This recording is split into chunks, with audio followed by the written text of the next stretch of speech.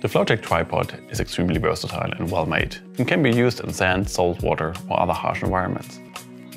However, after you use it in these conditions, it is essential that you clean the Flowtech to keep it in optimal working order. If you don't, this can stop the legs from deploying freely. To clean your Flowtech, fill a bucket full of warm water about 30 centimeters or 12 inches deep. Deploy the tripod leg and lock it. If you look at the base of the leg, you can see there is a hole which allows water to be drawn up inside of the tripod leg. This will flush out all of the debris, which will then come flushing back out of the hole.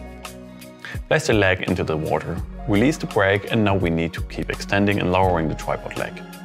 You repeat this process until you are happy that the legs are moving freely and you feel that you removed as much debris from the leg as possible.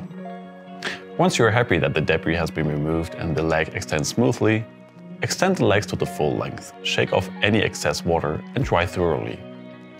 For more information about Flowtech or any other Sachtler product, please visit sachtler.com.